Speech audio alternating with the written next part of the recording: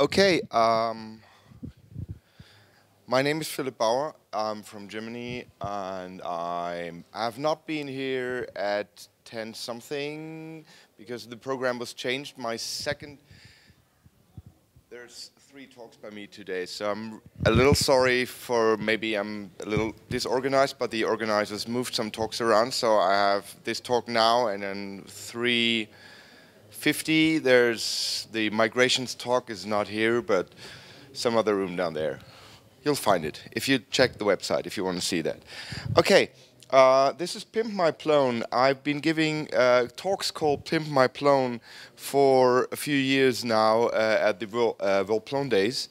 Uh, this is not one of them because uh, Pimp My Plone at Vol Days I usually I showcase add-ons that I really like and there were some among them that I'm not proud about having showcased, uh, but I was young, I needed the money.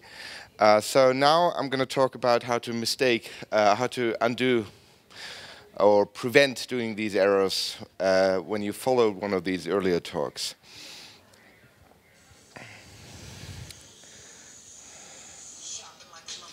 So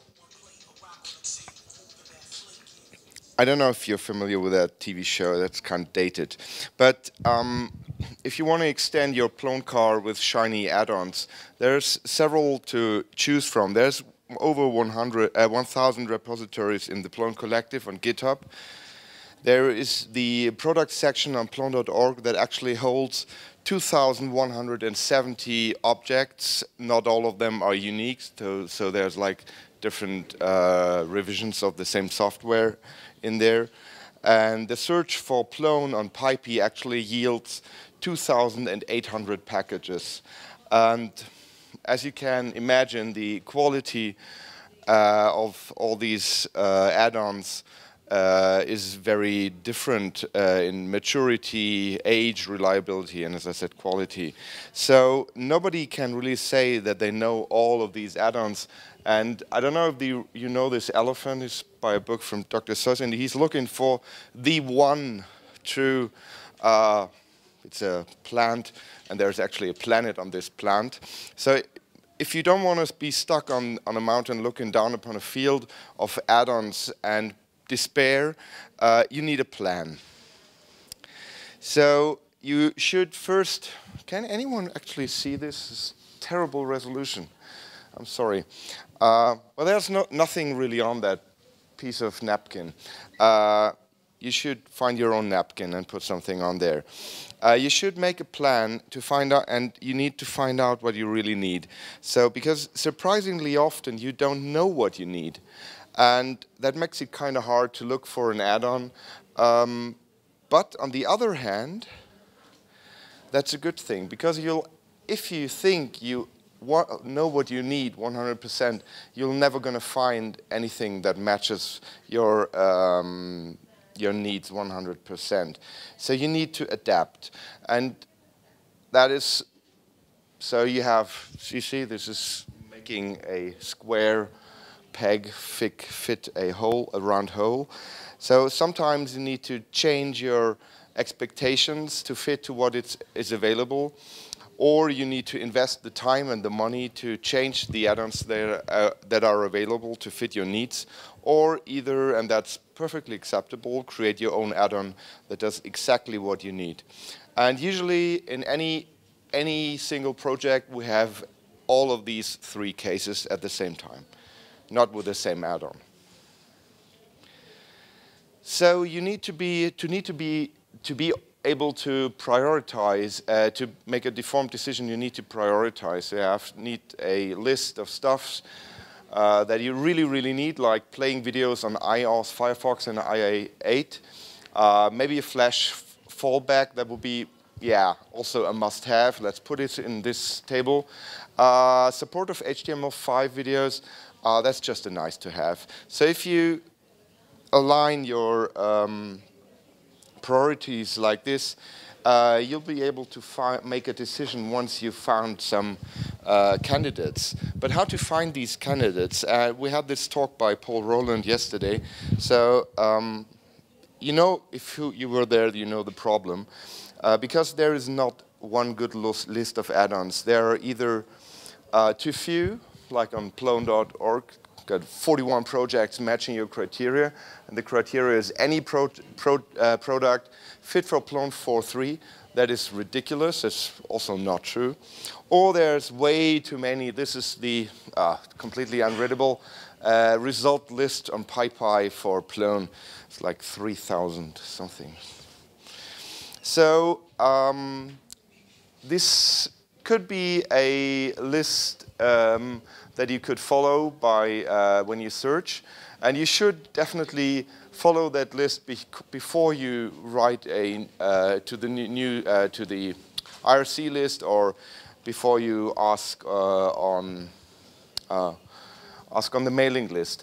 Uh, so that's plone.org products uh, and it has a search form, and you're supposed to use that.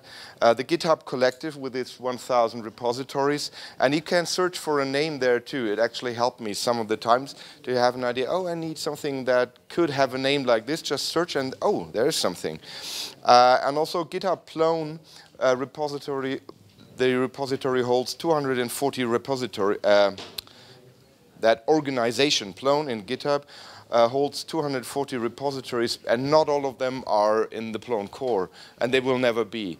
And there are some add-ons there that are really useful, and they're not seen by you, maybe if you don't look hard enough.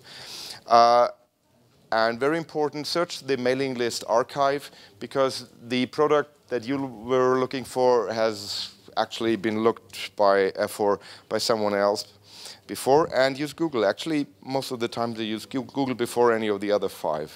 So do all these six, and uh, then you'll um, then you'll be able to find something probably. In fact, um, if that's not the case, if you don't find anything there, it's no need to despair or like think that anything's broken. In fact, it only appears that we have too much choice because there's a lot of add-ons that have not yet been written. It doesn't necessarily mean that, but that you uh, that you need to write them, but there's a lot of stuff that does not exist or does not exist in a usable form yet. And well, then you have to write it yourself or pay someone to write it for you. And that's perfectly acceptable. And usually we do one of these uh, add-ons for any project, but they never see the light of day of the public, and that should not do. So if you write an add-on for a, for a uh, customer of yours, uh, perhaps managing staff members in a company, you should never put that on PyPI because everybody does that and every company has different requirements, but they're all kind of similar but very different. So there's like, there would be 50 add-ons and they should never see the light of day, actually on the website, but not of the public.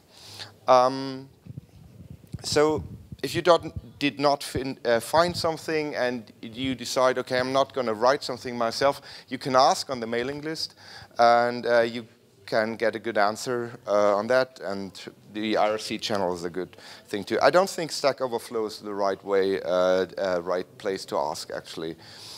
So and this situation, which is kind of uh, bad, will be uh, will be improved by the shortlist, or what at the moment is the shortlist, and what Paul uh, told us about yesterday, uh, that we will vote on add-ons.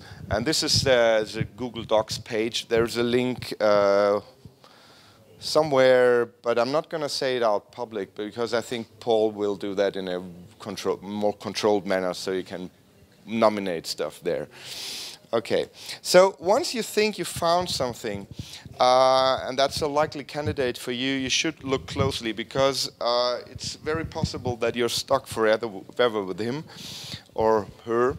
Uh, and there's a saying, it's a poem by Friedrich Schiller, uh, it's called uh, Drum teste, wer sich, uh, drum prüfe, wer sich ewig bindet. Uh, and that is what you should do. You should test your add-ons because uh, they may promise you features that uh, they actually don't deliver on. Uh, they say they have some uh, functionality that actually is not there. You have also to find out if this product is fresh enough to be in your uh, in your release because Uh, you need to check on PyPI and GitHub when was the last release, when was the last commit, who were the committers. Is this only one person? Has he just been run over by a bus or does he still live? Um, has it seen any recent development in the last month? Is there actually a bug tracker and does it have 500 open tickets and nobody ever bothered to answer or close any one of them? This is something you definitely have to look at. You have to check if this product is compatible with the Plone version that you're using in your website because a lot of add-ons are not yet running on the newest version of Plone because we changed some minor imports, but people are not bothering to update their add-ons. Or you're trying to use a Plone 2.5 or 3 version, and a lot of the better, shinier, newer add-ons will not work for that. So that is something definitely worth checking out for. Um, and you have to check if you have a special language requirement. Does the add-on actually support your language? If you have multiple languages, you usually forget to check the others. You only check the primary language. But if you have a German, French, and English page, you usually don't check for French, but you should, because otherwise you have to do that yourself. Or you end up with uh, run a pig fries crowd into. Um, nobody wants to use that website. So the question after you answered this. Will you ever be rid of it? Will it die? Will you uninstall it? Because there's a lot of products that don't do that properly. Are there instructions? Do they work? Follow them through. You really need to test that properly. And you do that by first installing the product and uninstalling it, starting the site up again, it, uh, pulling them out of the build out, then rerunning build out, restarting the site again. If nothing breaks, you might actually be in for luck, but usually you're not. And among the bad boys are everything that starts with P4A, Plone for Artists, singing, dancing. Actually, a lingua plone is one of those. You'll never be lingua plone will stay with you forever.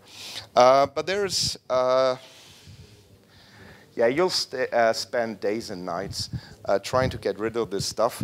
Um, but there is help, and if you go to this blog post, uh, but the help is not for the uh, for the um, end user, but it's for the developer. So this is something we all should read. Actually, I think everybody has read it, uh, but nobody's following it. Everybody should follow it. It's a lot of work, but you should do it.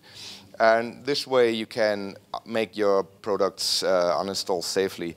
Uh, if it won't, you'll still have a choice to use it um, and live with the consequences, or you do it yourself and uh, improve the uninstall story there, or just use something else.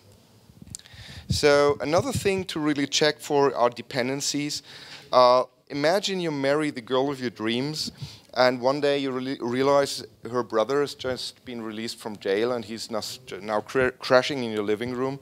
That's about the feeling that you get when you install the product and it pulls in dependencies that you now have in your living room and uh, they're now living uh, with you and you're not going to get rid of them because you need the product, you decided to keep it. So check for uh, other packages in the setup PY. Uh, few examples, harmless. Flow Player has a dependency on, uh, I don't actually know how to pronounce it, Hachuar, Hakoir, whatever. Uh, it's not bad, but you need to know that because sometimes you have dependencies that are not compatible or actually bad boys like Dr. Evil here. Uh, for example, the Plone app theme editor, something we use for our trainings, has a hard dependency on Zobscale 3 Alpha and Templar, so you can't use it with any other add-on that has a requirement for Zobscale 2. Um, you will get bitten by this. Uh, another it's not a dependency, but it's uh, part of the package. It's load. How many JavaScript libraries is it actually going to load in your, to your site? Uh, why is the right uh, site running so slow? Uh, one favorite example of mine is the debug toolbar. I actually love it. I use it a lot. But it adds so many items to your DOM tree that your site can become really, really slow if you use it in conjunction with, uh, with um, how's it called, Firebug and these tools. So this is something to take care of. I know the debug toolbar is nothing you put out in production, but there's a lot of other add-ons that require JavaScript and CSS and maybe don't, uh, don't pack this stuff and pile it onto each other until your website just topples over. Um, so what do you do if the, you like it and it's actually working but not, not completely?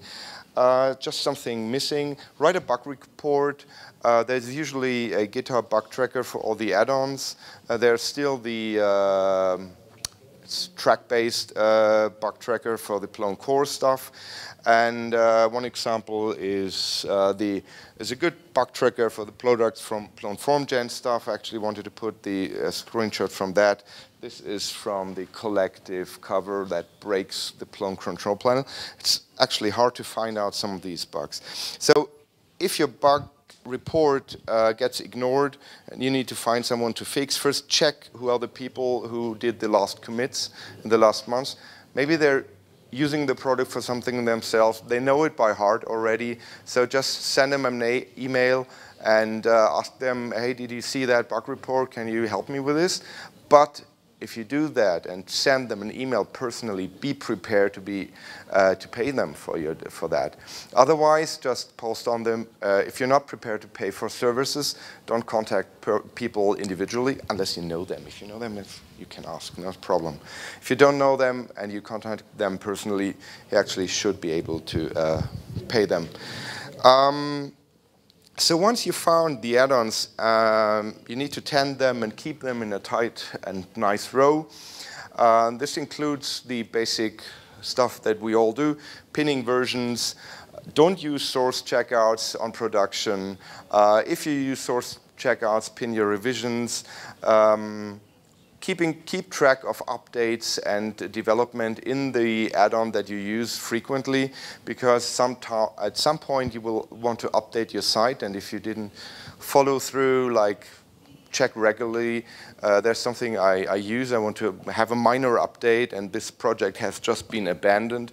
You're in for uh, some additional work. Uh, to prevent bit rot, um, you need to follow uh, what's happening and be prepared to just disband the ship uh, and try to remove the package and replace it by some, something else. And by then, your add-ons should be great troopers and you should be uh, happy and your customers will be happy too. If you want, I can, no actually I don't want to. Uh, I wanted to show you two examples uh, but I'm not going to show them. I'm just going to name them. These are just two. Um, one is collective logarithms, pretty little known by developers. You should check it out. And the other is a lot of people are looking for it, but there's no mailing list for this. Nothing happened. It's actually kind of abandoned, but it works. I use it in a product. Uh, it's I don't I don't know if it's on PyPI, but if you look for it's something usually people say, oh, we don't have a media repository in Plone. Actually, we do, and it's actually called Plone App Media Repository. So nobody's going to find it because I think it doesn't live in the collective namespace, but in the Plone namespace. And everybody might think, oh, that's maybe a Plone 2 effort that's been abandoned. But it's seen some recent development. It's kind of nice. It's not perfect. It needs, needs a lot of love. But it's one of these packages that are just out there and kind of ignored but they should not be. They should maybe not be widely used, but they should be tended with love and respect by developers and adopted and improved on. So if you have questions, I have exactly uh, space for four of them here. Uh, I'll be willing to answer them, or you can give me your input on, on add-ons. Thank you.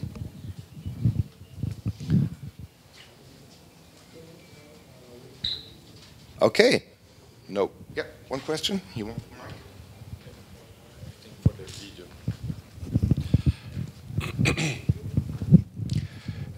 I had a, an experience using some Plone for Artists products like five, four, four or five years ago. Thank you. And we got a lot of trouble trying to get rid of it, of it because of uh, because we wanted to upgrade Plone and the migration always broke. Uh, yesterday I was I saw this talk about uh, transmogrifier and this kind of uh, strategy for upgrading Plone. Do you think it, it, it is something that we should consider thinking about add-ons that we should use, like uh, uh, Plan B for the case when I can't get rid of it?